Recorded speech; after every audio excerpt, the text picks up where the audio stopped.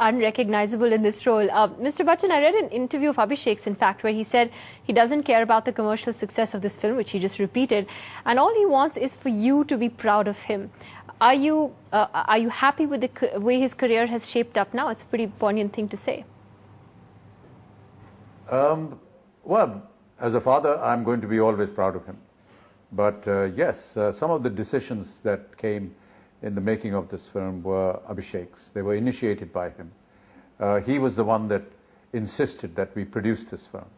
He was the one that insisted that um, we make it within a limited budget uh, of 15 crore rupees.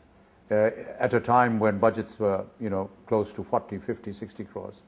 Um, and because I think that he realized that, that recovering that kind of money uh, is, is an impossibility.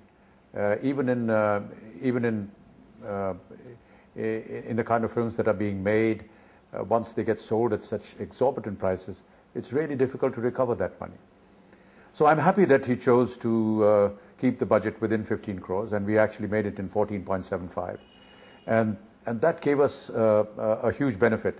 Um, we are now uh, in the first weekend, which is just three days old, and uh, I'm happy to tell you that we are already in profit. We've covered all our costs and all our money. Well, well, uh, obviously you're a very, very proud father. And Abhishek, you know, you've had so many ups and downs in your career, perhaps more downs rather than ups. And in fact, at one point you said you almost gave it up. Uh, do you think your career has turned a corner?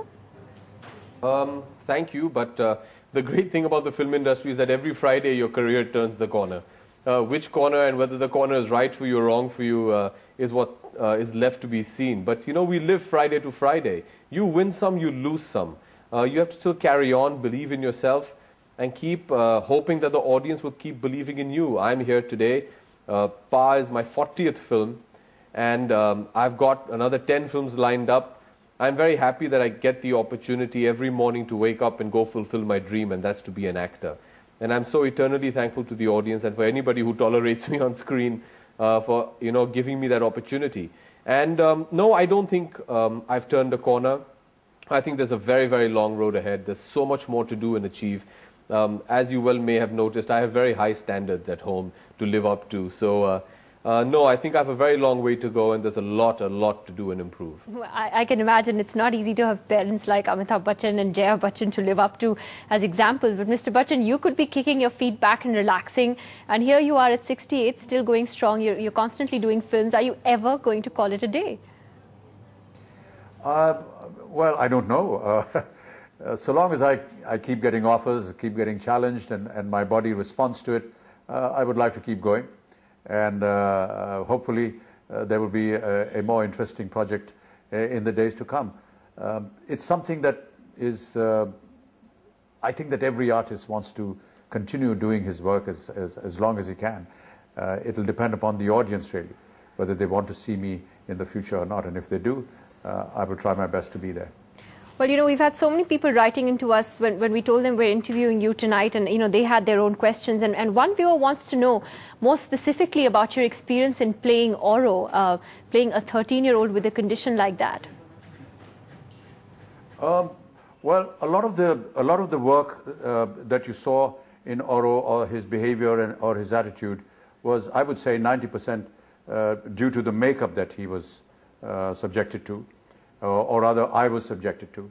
And um, I, I, really don't know how, uh, um, how I can show it to you now because I don't have the makeup. But I do have my teeth, and they played a very important part uh, in changing the voice. Uh, if you don't mind, I'll put it on now. Is that all right with you? It's, it's absolutely all right with us. Actually, it's great to see you reenact the part. Go ahead.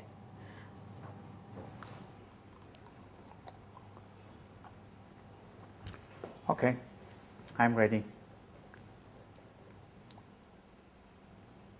Hi, Auro. How are you? Yeah. Yeah, you can call me Auro now. You know how to spell Auro? Uh, no. How do you spell Auro? Auro? It's, it's uh, A-U-R-O, Auro. Tuba.com